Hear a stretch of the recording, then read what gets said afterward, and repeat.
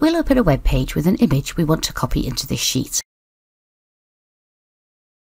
We can right-click on the image and choose the copy command. We can then return to our sheet. Here we can right-click over the cell to paste the image into and choose the paste command. The image will be pasted over the cells of the sheet and can be resized as needed.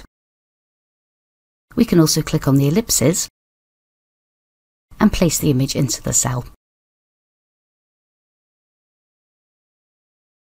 Thank you for watching. Contact us at Ancoris if you want to know more about G Suite.